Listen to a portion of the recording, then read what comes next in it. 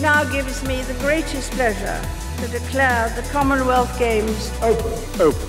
Open. Open. 11 nations here in Hamilton. 72 nations of the Commonwealth. Kenny Yang now. Goal is his. Emotions run high. Gold to Canada. Who'd have thought you'd seen that at the Commonwealth Games? Neroli Fairhall is the first paraplegic to participate in the Games.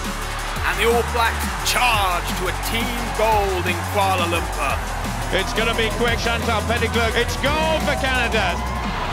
It's an equal number of medals for men and women at this Commonwealth Games. They win, and the world record has been taken apart. Freeman is the Commonwealth champion. She carries the Australian flag, she carries the Australian Aboriginal flag. And Wells with McFarlane in lane two, but that is a certain photograph. The dual gold medalists share the rostrum. Bannister is kicking very definitely. He's passing Landy. Landy looks the wrong way. And Roger Bannister, the master miler, wins by three yards in 3 minutes 58.8 seconds. Bouncing along, and he is the new Commonwealth Games marathon champion. The time, just over 2 hours 9 minutes.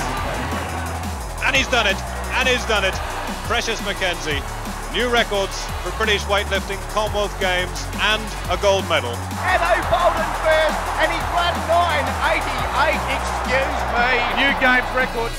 These have been called the friendly games, and they certainly have been this year. They were memorable, and they have and showed the world, if you like, the right way in which sport should be organised.